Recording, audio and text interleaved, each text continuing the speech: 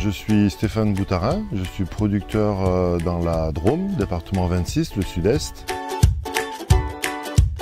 64 hectares sur mon exploitation, de l'ail de la Drôme, des plantes aromatiques, basilie, euh, mélisse, euh, coriandre, camomille, euh, lavanda, un peu de semences dans les luzernes, dans les tournesols, maïs et la céréale. Quand on a une luzerne dans un quartier, on a les chevreuils, les lièvres, les lapins qui reviennent. Moi aujourd'hui je travaille avec une dizaine d'hectares euh, de, luzerne sur l'exploitation pratiquement.